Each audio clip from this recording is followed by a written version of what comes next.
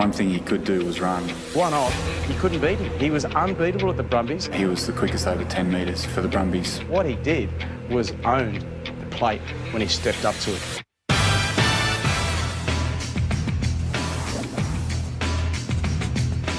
Welcome to another episode of the Hot Rod Challenge, and I'm joined by one of Fox Sports' greatest presenters, soccer aficionado, football, I should say. My apologies. No problem. Tara Rushton, welcome. Thank you. Thanks for uh, letting me join you on your track, I believe it is. It's all my track, but you've done some sprint training in the pre-season. I want to say loosely some pre-season training. Uh, it was Coop's pre-season Uh-huh. training. Cooper obviously um, getting ready for Melbourne Storm season.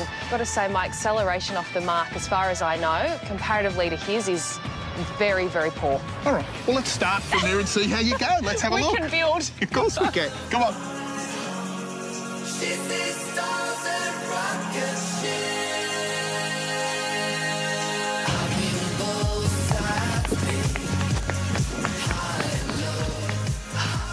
Wow, Tara, wow.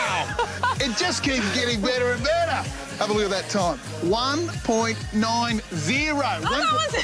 Oh, good. You, you have knocked off Braith Anasta. Everyone's beaten Braith, let's Oh, face it. okay, sure. But, but that's quicker than Gregan. That's quicker than all sorts of people. We've got to have a race off. You have got a hidden talent here. Well done.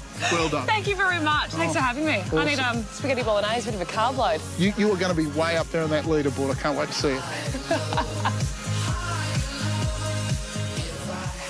Not quite quicker than George, but uh, gee, she's done well. Tara Rushton, 1.90, quicker than Mitchell Johnson, Huey Bowman, Braith Anasta, Clara Pitt, and Hannah Hollis.